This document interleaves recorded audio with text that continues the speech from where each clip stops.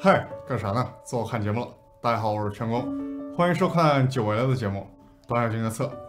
提到神之手，在我最早的记忆里，便是那个依仗着速度突破极限、穿梭于流水之中的那个男人。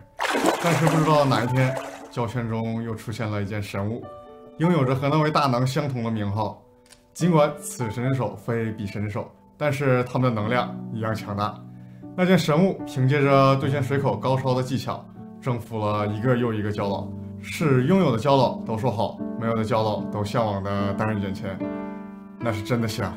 最近有听起神之手又有了新动作，发售了打磨版，一个二百二十五的小铁片，可真让人心痒痒。那得多好用啊！想想就流口水。看，就是这神之手 G H 杠 E S 杠九零打磨平错，果然是又短又小又精致，很配我们的节目。可能大家没有接触过这类金属打磨板，准确说是打磨板形状的锉刀，有着锉刀的纹路。以下我们都简称这个东西为锉刀。毫不夸张地说，几年前我就用过。来历是一个用木头粘着类似的平板锉刀，但经过我手的东西，大家都知道没有不摔的，所以就分家了。再粘也不再稳固，还真是我见过喝酒的都分了，没见过分酒的喝。这个东西打磨比不过砂纸，切削力弱，容易堵，握持感也一般，但也舍不得丢，能用来进行简单的打磨，还可以顺手当尺子，在整理刻线的时候用。我还起了个相当好吃又好听的名字——掌中宝。直到神之手平板锉横空出世，秉承着喜新厌旧的优良传统，掌中宝就降为贵人了。空降新贵妃，三围九十乘二十乘一点五。薄是非常的薄了，不锈钢材质，硬度是可以的。官方表示可以蘸水打磨。纹路是典型的交叉纹，这种纹路的锉刀通常打磨痕迹会比单排纹的锉刀留痕大一点，但优点是不分方向，顺向、逆向、转圈都行。官方有多种拿法展示，但是我觉得这个姿势最舒服。会综合一下这个锉刀比别的常规平板打磨器长的感觉。主要原因是因为我手小，这里加个但是，我还是觉得打磨器带把手手感最好。这款锉刀没有木头的选择，打磨效果接近六百到八百目，磨痕控制的也不错，也不会出现打磨大平面就缺失切削力的情况。但是没办法长时间战斗，一旦堵起来会丧失切削力，打磨大平面容易出来抛光面，不禁让人小眉头一皱。经过这个锉刀打磨的面直接上薄土，经过简单的打磨继续上色是没有问题的。不知道大家记不记得，我曾经让大家尽量不要用那种美甲打磨棒或者是海绵砂纸去打磨大平面，因为有一层海绵有一定的柔软度，就会在用力使用时产生形变，最终把零件磨肉。小经验，打磨器一定要硬，这里是硬的好，不接受反驳。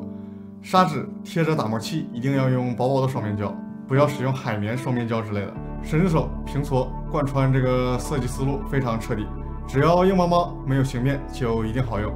这个是官方给出的使用范例，你说巧不巧？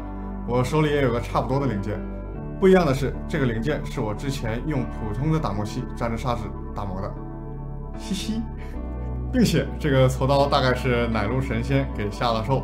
在打磨零件边缘时，如果角度稍微不对劲，零件就会被纹路卡得死死的，顺势飞出去。可能这就是什么神秘的魔法力量吧。但是平心而论，神之手平锉的边缘平整度是很棒的，所以处理各种阶梯状的细节会非常好用，不会磨到不该磨的地方。如果对自己的技术有自信，也可以自己抛一下这个边，应该还会更好用一些。小经验。如果没有这个锉刀，打磨阶梯状细节时，经常出现磨到另一个边的状况。大家在粘砂纸的时候，砂纸稍微搞大一点点，切的时候刀片向里切，这样边缘就会齐一点。刚才我们说了，这个锉刀堵了之后就会产生抛光面，我们可以试试恢复能力怎么样？哎，官方说的不要用铜丝刷刷，简单用牙刷刷刷，恢复性能比我之前那个小玩意儿是要好的。你说它是打磨器？不，它不是，它不需要沾任何砂纸，但是它又有打磨的功能。你说它是锉刀吗？不，它不是，它没有常规锉刀的形状，更像是我们常用的打磨板。它小小薄薄，它就是它自己，又是一个新的设计思路的工具。总体来看，优点缺点都有，可以进行简单的打磨，也可以在刻线修建时当做尺子。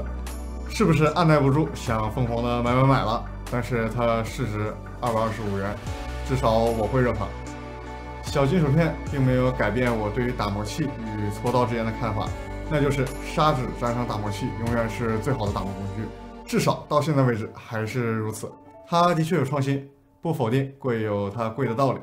拥有它，心灵上的满足感大于它在模型制作上给我带来的帮助。工具这个东西就是这样，给我们带来买买快乐的同时，又能给我们带来一丝丝感觉作品水平会突飞猛进的幻想。但是，我亲爱的老伙计，东西永远是下一个好，贵的好，但是最终还是要用手使用工具的，不是吗？就对你的手好一点点吧，多练练打磨技术，恶狠狠地搓几个小方块，会比光看我有用。本期视频就到这里，期待下一次不知道什么时候再来一期的短小精的测。如果觉得节目还不错，就请三连支持一下，你的三连对我有着巨大的帮助。我是全工。祝你们水平精进，我们下期再见。好了，大家可以去我们的淘宝店看一下，我们已经新上架了我们的新款打磨器，希望大家多多支持。